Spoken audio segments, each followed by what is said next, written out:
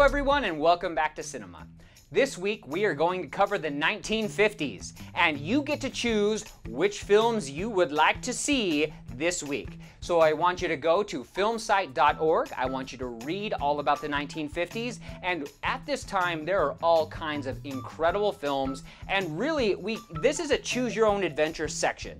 So if you have never seen a Alfred Hitchcock piece, then this is probably the decade to go and watch that. There are a, a, bunch of other options for you as well, but this week I wanted to reserve so that you could choose your own adventure. All right, everyone, make sure you do your reading. I can't wait to see what you pick, and I'll see you on the other side.